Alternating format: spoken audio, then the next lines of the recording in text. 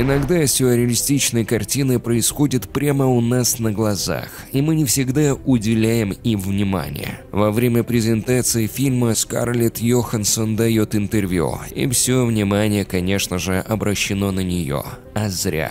Посмотрите на девушку, которая проходит, оглядываясь за спиной у актрисы. Куда она подевалась?